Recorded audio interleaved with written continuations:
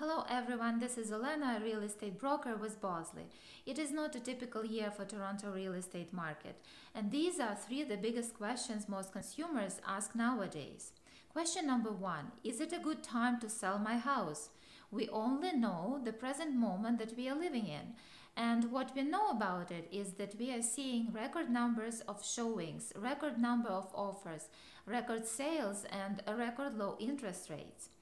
But what we don't know though is what going to happen in the future.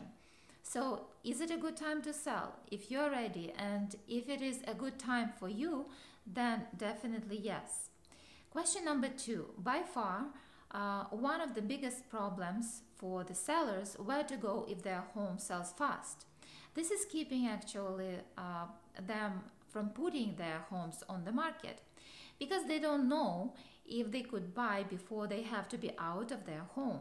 I have few strategies to overcome this issue. The first one is the rent back situation. Buyers are so eager to get their, their homes, so a rent back period can be negotiated with the offer. This will allow you to buy your next home within a comfortable time frame. Question number three. The prices are high right now. Should I wait to buy? Buying a home sooner rather than later could lead to substantial savings and long-term financial growth for you and your family. These are three points to consider. Point number one, according to majority of experts, prices will continue to rise in 2021. Uh, point number two, record low mortgage rates make owning a home cheaper than renting one. Point number three, there are some renters who haven't purchased a home yet because they were uncomfortable taking on obligations on mortgage.